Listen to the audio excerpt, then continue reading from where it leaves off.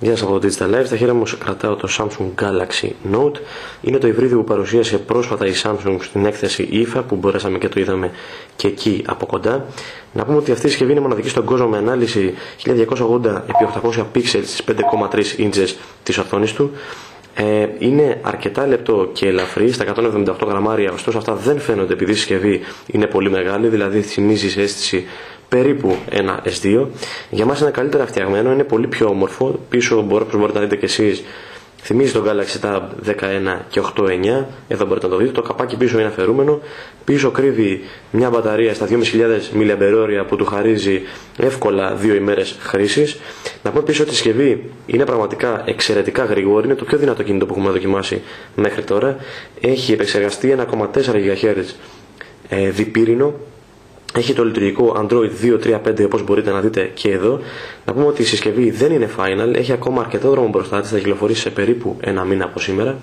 Ε, επίσης είναι πολύ αποτελεσματική στην πλοήγηση στο ίντερνετ. Θα μπούμε λοιπόν τώρα στο site να δείτε στο site το digitallife.gr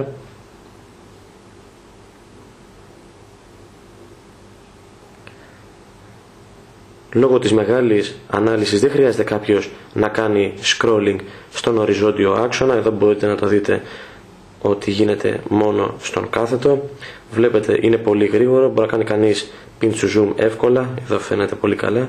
Να πούμε πίσω ότι παρότι η οθόνη είναι ε, Super AMOLED δεν είναι Super AMOLED Plus που σημαίνει ότι έχει 2 subpixels per pixel ε, δεν φαίνονται καθόλου, τα pixel δεν πιξελιάζει καθόλου, το κείμενο διαβάζεται πάρα πολύ εύκολα. Επίσης η οθόνη του είναι πολύ φωτεινή, δεν είναι τόσο καλή ίσως όσο στο Galaxy S2, παρόλα αυτά δύσκολα θα καταλάβει κανείς τη διαφορά και πιστεύουμε σύμφωνα με αυτά που μας έχουν πει και υπεύθυνοι από τη Samsung ότι θα βελτιωθεί η ποιότητα της οθόνης, αυτό είπαμε είναι ένα δείγμα προπαραγωγής, το ίδιο και οι επιδόσεις του. Να δοκιμάσουμε να τρέξουμε εδώ το Quadrant. Αφού κλείσουμε τις εφαρμογές που τρέχουν πίσω γιατί έχουμε ανοίξει αρκετές. Μέχρι τώρα βλέπετε έκλεισαν 22 εφαρμογές λέει εδώ. Πάμε λοιπόν να ανοίξουμε το Quadrant να δούμε τι σκορ θα γράψει το τηλέφωνο.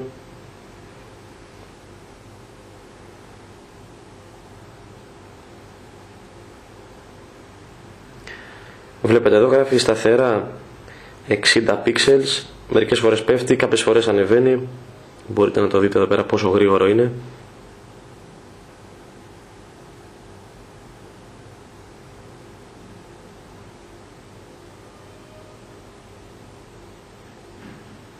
Να πούμε πίσω ότι η συσκευή έχει 1 GB μνήμης RAM, έχει 16 GB internal, υπάρχει εκδήλωση με 32 αλλά δεν ξέρουμε αν θα έρθει στην Ελλάδα και φυσικά μπορεί να δεχτεί κάρτες microSD που σημαίνει ότι η μνήμη του μπορεί να μεγαλώσει ακόμη περισσότερο. Πάμε λοιπόν να δούμε τι, τεστ, τι έβαλε τα τεστ.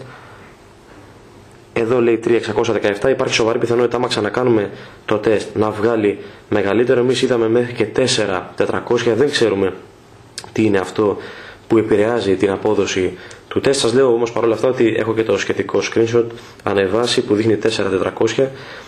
Ε, πραγματικά είναι πιο γρήγορη συσκευή που έχουμε δει. Ανοίγει αστραπιαία οτιδήποτε αρχείο και να το δώσουμε. Του, μάλιστα είχα περάσει ένα αρχείο 100 MB PDF και το άνοιξε σε κλάσματα. Είναι πραγματικά πολύ γρήγορο. Να δούμε λοιπόν πάλι μήπως έχουμε διαφορετικά αποτελέσματα στο τεστ.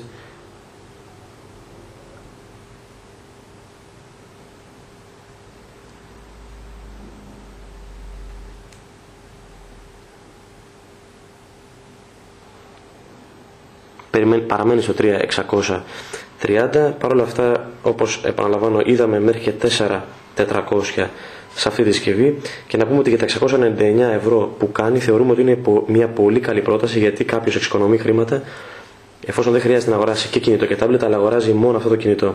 Αυτά το digital